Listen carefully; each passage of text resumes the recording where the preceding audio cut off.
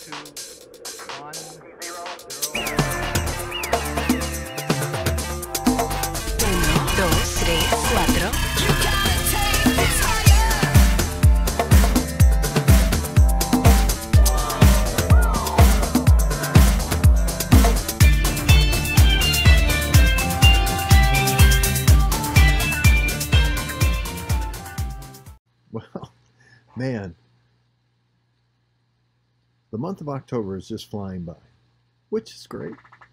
And we're getting close to that time where we gather as families and celebrate Thanksgiving, which is a time where there is a lot of Thanksgiving because there's a lot of good food, which is also the time where, about this time of year, there's something that happens inside of my body that says, it's time to put on about 10 pounds. I just want you to know I'm not the kind of person that can ignore good food, especially food that, man, I love to eat.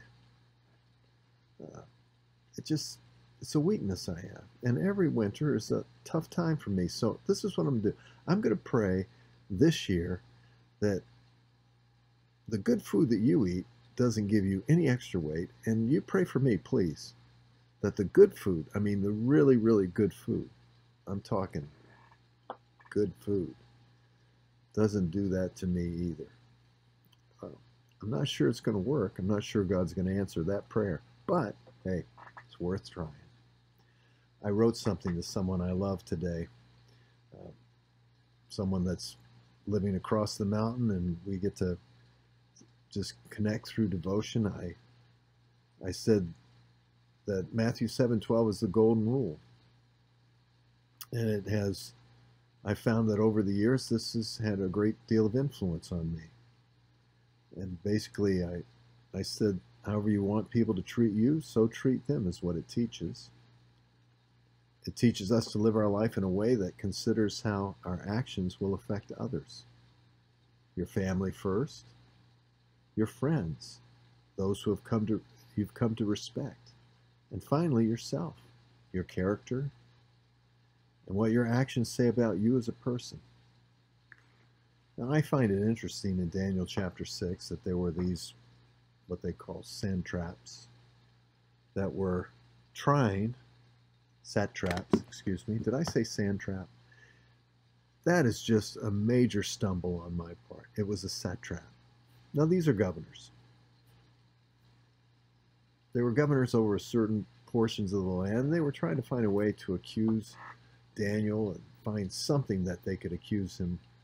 He had too much power in their eyes, and they, as many people do, they want to belittle another so that they can take his power, his place, his position. This is the way humans operate. And so they said, well, if we're going to find anything, we're going to have to find something that has to do with the law of his God. So you know how it goes. They got the king to pass a law that you can't worship any other God and openly. And Daniel obviously would go open his window and pray towards Jerusalem. Uh, during, you know, three times a day he he did this religiously. It was it was very much a part of his life. He was looking forward to the blessing of God's people returning to their their homeland the place where God Himself said He would dwell. And they used that against Him. Which kind of leads me to this point. Let's make sure that the reason why somebody has something against us is because of the purity of our relationship with God and not just the stupidity of our life. Because there's a lot of that that goes around our personality, our inadequacies, our idiosyncrasies. And lots of people can get down on those things, and I get it. But let's, in all, in all that we do, just like I was quoting from Matthew 7:12 to that loved one, let's make sure that the things that we do, we consider.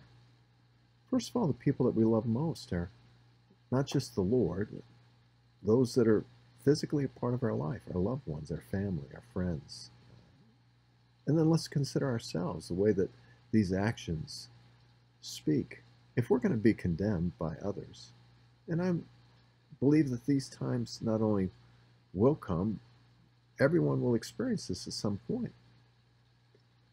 But when they come, let it be because of the purity of our faith in Christ, the purity of our love for Him, the purity of a life that's lived in recognition not only of Him, but His love for others. And if you get accused for that, hey, then so be it. To live as Christ, to die as gain. Till next time, friends, God bless you.